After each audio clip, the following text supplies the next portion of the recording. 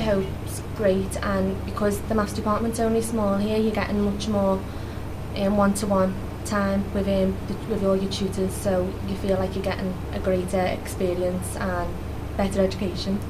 We've learned things like probability theory, um, graph theory and calculus and we've also worked on the and like the IT side using the MATLAB which is um, which is different because it's quite new and advanced and I've never done that before. It's a really interesting course and I'm learning things that I've never learned before. Um, the tutors are great, they're all really approachable and they all help you if you're stuck. They, like, they help you along. The facilities in the maths department are great, they've got really up-to-date facilities and in particular the computer software is really like high-tech so, and advanced so like you could do amazing things with it. I'm studying mathematics because eventually I'd like to become um, a secondary maths teacher. Just because my experience was really good and I'd like to pass it on and I, I just love maths.